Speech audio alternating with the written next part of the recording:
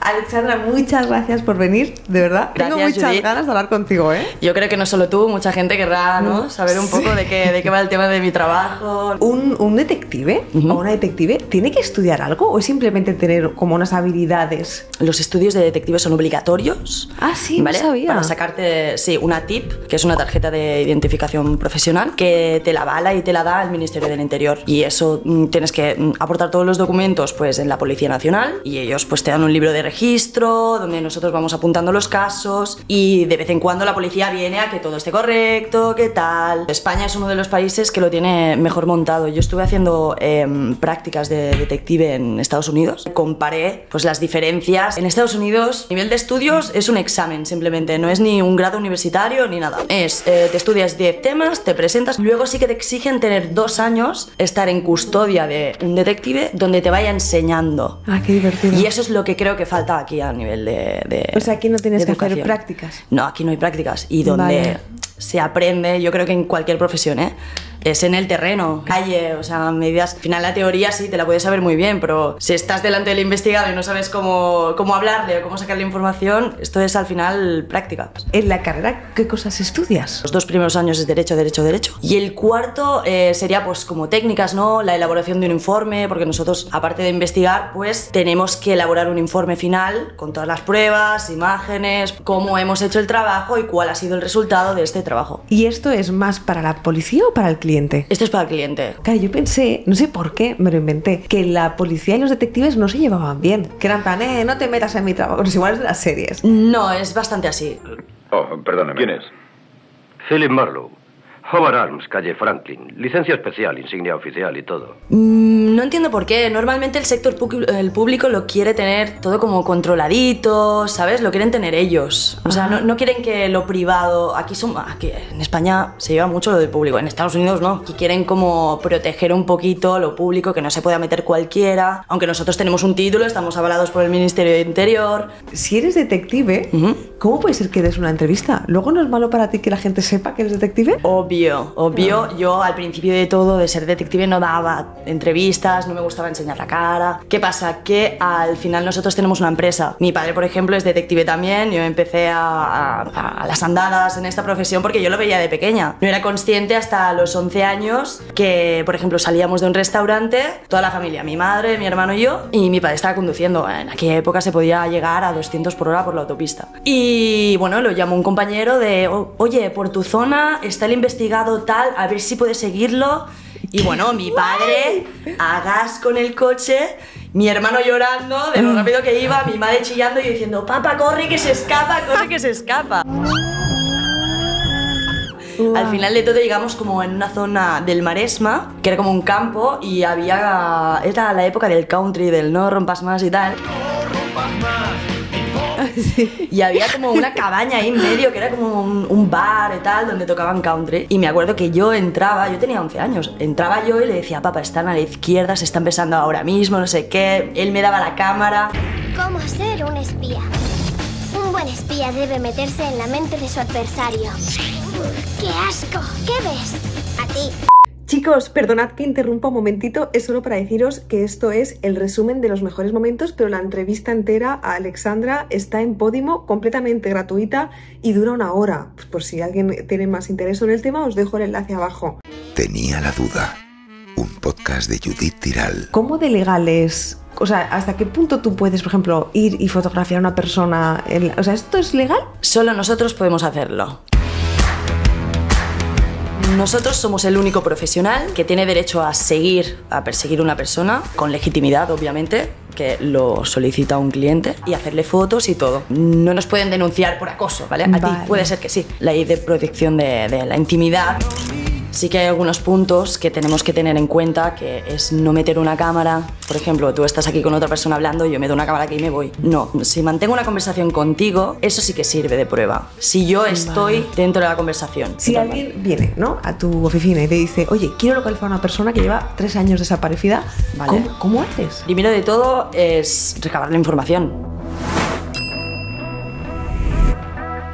O sea, tú me- no me puedes venir y decir, sí, una persona que se llamaba Pepita y bebía en Madrid. Claro. Con eso yo no puedo hacer nada, lo siento mucho, pero no, no hay base. No tengo hilos por donde tirar. Ahora, si luego me dices, pues frecuentaba este bar, trabajaba aquí, ahí es cuando nosotros vemos que hay viabilidad ¿no? en el caso y podemos eh, empezar el trabajo de campo de ir a preguntar. De ahí pues nos sacan una información y de otro lado sacamos otra. Y vamos a ir montando un puzzle. Tienes muchas piezas, pero están sueltas y cada vez van apareciendo más. Al final lo montas todo y tienes ya todo el mapa. También hay que valorar la posibilidad de que puede ser que esta persona quiera desaparecer. Nos puede venir una persona y decir, vale, quiero buscar a mi pareja porque yo qué sé, se ha ido. Y alguna vez hemos visto que tiraba por, ah, por una rama de violencia de género, que quería Ah. buscar a su pareja porque puede ser que la quería, la quería, le quería Ah, hacer qué daño. Tampoco podemos creer todo lo que nos cuenta el, el cliente, como por así decirlo, pero eso ya lo vamos viendo, con la experiencia ya vas viendo que sí, que hay un problema o no. Y lo que yo pensaba, bueno, lo que pensamos todos es cuando hablamos de detectives nos vamos directamente a la infidelidad. Ya es el Eh, tópico. Sí, es, Sí. es lo que más, los más casos que tenéis o nada que ver. A ver, hace años sí, yo lo puedo llegar a entender porque a nivel económico, ¿no? La gente estaba mejor y bueno, se podían permitir, ¿no? El hecho de, bueno, pues lo sé, pero quiero tener las pruebas. Porque aquí entran también eh, mucho el maltrato psicológico, ¿no? O el juego, la toxicidad de decir, no, estás loco o estás loca, te lo estás inventando, bla, bla, bla, bla. Y al final estas personas necesitan una prueba irrefutable y enseñársela a la cara a- a su pareja. Jesus Christ, That right there is the mail. Now let's talk about the mail. Can we talk about the mail, please, Mac? I'm dying to talk about the mail with you all day, okay? Pero hoy en día, eh, con la crisis y después del COVID y todo, las bajas es lo que se lleva el top ten. En los temas de empresa, ¿De donde hay el truscu truscu, sí. Para descubrirlo, ¿qué hacéis? Por ejemplo, si es un hombre que es infiel, tenéis que ir, o sea, vas con la furgoneta Con y haces furgoneta, moto, de todo, de todo. Con patinete eléctrico también tenemos que ir a veces, ¿eh? Claro, claro, que hoy en día, tía, que te salen de casa y te salen con un patinete y te quedas así, ¿sabes? Y dices, hostia, yo voy en coche, no puedo. Lo normal es que la, la persona que nos contrata pues diga, ah, vale, normalmente los jueves por la noche me llega muy tarde y suele salir a las 6 de la tarde de- del trabajo. ¿Qué hace? Entonces ya vamos directamente ese día, ¿no? Le esperamos a la hora de salida del trabajo y ya vemos por dónde se va moviendo. Al final tú tienes que ver dónde está el trabajo, cómo se mueve esa persona, se va andando, coge taxi y en función de eso pues ir en moto, ir en coche, dos detectives, un detective, si llueve cuidado, si no llueve tal, si hoy hay una manifestación en el centro y puede ser que tienes que estar mm, atento a tantas cosas y tantos elementos que al final te la juegas a un día puede ser. Bueno, ¿qué tanto por ciento? Esta es otra pregunta que tenía. tipo, cuando ¿Cuánta gente es Claro, infiel, no? cuando te contratan, normalmente, o dices, pues la verdad es que hay muchas veces que nada que ver. No, 90... 90%, sí. Claro. Sí. Este sería un caso de infidelidad, ¿no, Alicia? Sí, nos contrata la clienta porque, bueno, su marido tiene comportamientos extraños. Lo curioso de todo es que, bueno, podemos observar por la ventana, pero la sorpresa fue cuando yo le entregué el vídeo a, a la clienta. Ahora que luego hay, pues, algún caso de alguna vez nos ha pasado. Una señora mayor, ay, es que mi marido eh, sale todas las tardes, no sé qué. Pues vamos a seguir el marido, que el marido ni, ni podía andar, casi, ¿sabes? O sea, digo, madre mía, si este lo destroza, ¿sabes? Ya. Y, y bueno, el pobre lo único que quería era salir de casa para fumarse su cigarrillo, porque la mujer no le dejaba y tirar en las tragaperras dos moneditas. Uy, pues ya sabes. Ay, ¿sabes? pobre. Y que sí, que son casos que dices, vale, que... pero son muy puntuales. La mayoría que viene y nos contrata es porque hay una, una certeza de- del 90%. Hay casos que te tiras 8 horas dentro de una furgoneta esperando y es como, Para esperar, no Sí, se sabe tenemos ahí cuánto el, tiempo. el portal y vamos a esperar a que salga ella. ¿cuándo va a salir? ¿Cuándo tal? Cuando sales un corre, corre, corre, corre, ahora, ahora, y la adrenalina te sube tanto que corres, vuelas, bueno, haces de todo. ¿Te puedo preguntar cuál es lo más raro que te hayas encontrado? No raro, pero que era infiel con varias personas y sobre todo un caso que era una clienta en este caso y el infiel era el marido que se estaba liando con su hermana, con la hermana de la clienta. No. ¿La Sí. gente hace esas cosas?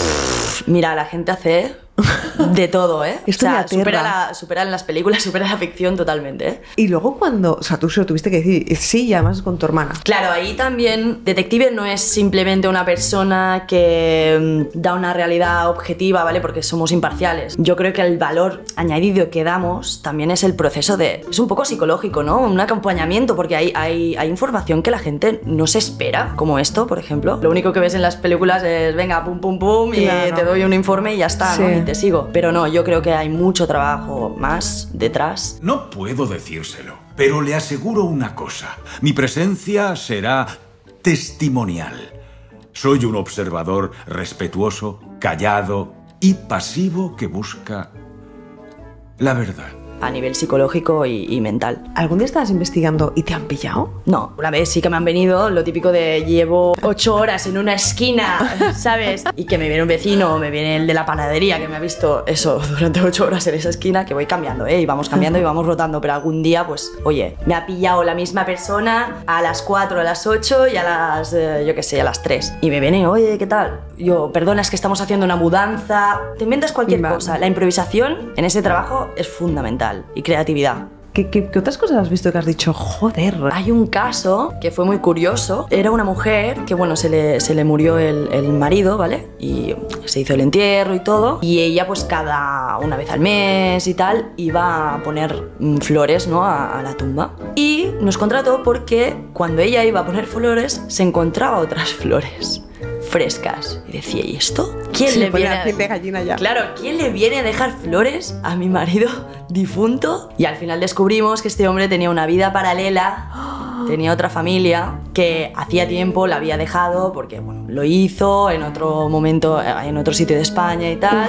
Y ellos aceptaron de, vale, no, vete con tu familia y tal. Ellos se enteraron de que, de que se había muerto, pero obviamente en el entierro no iban a ir, pero Anda. de vez en cuando pues ¿Y likes. esto? Perdón, pero esto cómo lo descubres? O sea, te acercas a ella y dices, ¿qué? ¿Poniendo flores así? No, ¿O no? bueno, ¿qué? ¿Qué tal? No, están frescas, ¿eh? ¿Dónde las compras?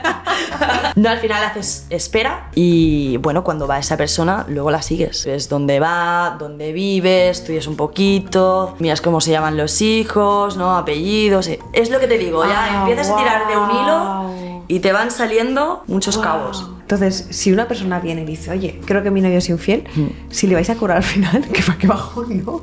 Bueno. tu novio es infiel y dame X euros. A ver, el trabajo, el trabajo se ha hecho. Normalmente lo que cobramos es el 50% adelantado y luego la totalidad del caso. Bueno, al final te creas un poco, ¿no? El, el negocio, porque nosotros no tenemos un precio estipulado. O sea, sí que el Colegio de Detectives Privados de, de Cataluña, pues te dice una orientación de 60, 70 la Es- hora. ¿Tenéis como cacharros? En tipo, por ejemplo.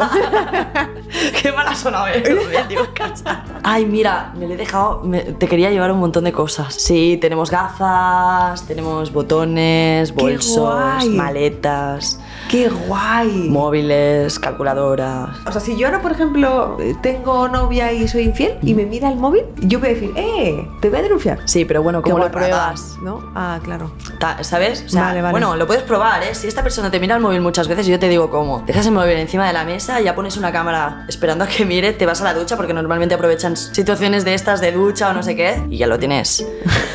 o sea, quiero decir, si tía, si ni tu propia pareja puede abrir una carta tuya que llega a tu casa. Ah, no, no sabía No. esto yo. No, te puede Anda. denunciar. Luego, ¿alguna vez habéis descubierto algo? Y yo qué sé, eh, el novio ha dicho, ¿dónde la has descubierto? Dice, en Detectives Oliver. Y te pues ahora voy a ir yo para allí. Y si os has presentado a alguien en plan, eh, no, no. Uf, sí. ¿Sí? A mí no, ¿eh? A mí personalmente no. Pero claro, eh, de una de las cosas que nos quejamos también dentro del sector es que cuando vamos a juicio no tenemos ningún tipo de protección. Se da nuestro DNI, no Ostras. tenemos una mampara. Y claro, quiero decir, esa persona nos ve, eh, dicen dónde trabajamos, eh, es que lo dicen todo. Entonces sí que vienen, alguna vez han venido a increpar, ¿no? O hasta otros han quedado tan maravillados por el informe en contra suya que han dicho, pues los voy a contratar porque lo han hecho muy bien, me han jodido la vida, pero voy también a contratarlos yo. ¿Hay algún tipo de trabajo que tú digas, pues este caso en concreto yo lo rechazaría? Os, os no quiero trabajar con estas cosas. No sé, como, como venganzas.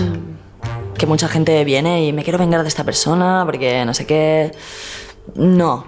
No más. mm, es turbio, ¿sabes lo que te quiero decir? Sí, mal fondo, ¿no? Sí, mal fondo y que puede crear eh, problemas. ¿Qué quiero decir? Una persona que se puede vengar puede llegar a, a Claro. matar a la otra o yo qué sé, o robar o hacer, o hacer el mal, básicamente. Entonces no. La oficina, la, o sea, la tenéis como en CSI, como en las pelis o en las series que vas y pues es como está como con la chincheta roja, las pruebas, Sí, hilos. sí, sí. sí. Y Ahora yo quiero ir un día. Y todo. Hombre, invitada estás. Ahora entras, pero no sé si sales. ¿eh?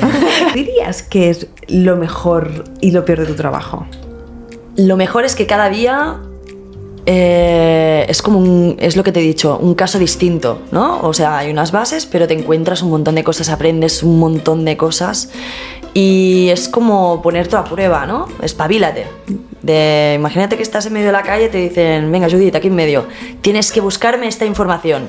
Apáñatela como quieras. ¿Cómo lo harías? El ingenio, ¿no? Ah, la espontaneidad, el- el- la lógica, ¿no? La improvisación, el, el cómo hacerlo. Y luego lo, lo peor, que sabes cuándo empiezas, pero nunca cuándo acabas. Claro, entonces al cliente, si alguna vez vais por horas, le tienes que decir, no, espérate que no sé cuánto me tomará. Tú le tienes que decir, en menos de dos días te lo encuentro. O sea, más o menos me tomará estas horas. Claro, normalmente tenemos un, un margen ¿no? de tiempo, entonces estamos constantemente en contacto con, con el cliente y le decimos, oye, mira, estamos así, o vamos a pararlo porque vemos que no hay movimiento ahora. Dentro de unos meses, que es verano, hay que ser consciente de eso también. Vale. En Navidad, pues la gente está más contenta, se desinhibe un poquito más. Vale. ¿Sabes? En verano también. Por ejemplo, una persona el día de su cumpleaños va a hacer algo sí o sí. Ah, qué bueno. En la última pregunta que le hago a todos los invitados es que les digo, si estuvieras en tu lecho de muerte y tienes un hijo o una hija, o alguien que quieras mucho, y le tienes que dar como una lección de vida, o sea, algo que tú hayas, que digas, ay, no me puedo morir sin decirte esto, esta lección, ¿qué le dirías? Uf, qué chungo, ¿eh? Ah, trata bien a los demás. sé, sé así y más sincero. No sé. Me... Qué bueno, porque todo va mucho con tu trabajo, ¿eh? Creo. Sí, bueno, claro, es que yo veo poca sinceridad, todo son mentiras, todo es tratar mal al otro. De verdad, ay, Alexandra, muchísimas gracias por venir. Gracias ha ti, sido Judith. brutal y ha sido un placer hablar contigo. Muchas gracias por venir. Igualmente, cuando quieras otra vez, pues volvemos a coincidir. Y una cosita, tú no Sí. vivías por... Antes de tener... ¿Cómo lo sabes? Es que, no, y tú eres del 90. pues- ¿Qué? ¿Ibas a mi cole? ¿Ibas a mi cole? Creo que por ahí te he visto. Estás... Sí, sí que estoy cerca, sí. No, escúchame, me está dando miedo. ¿Cómo coño lo sabes si no pongo nada en internet? ¿Seguro?